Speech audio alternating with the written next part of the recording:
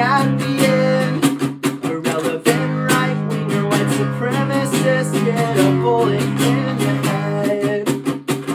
Be a leftist scumbag. I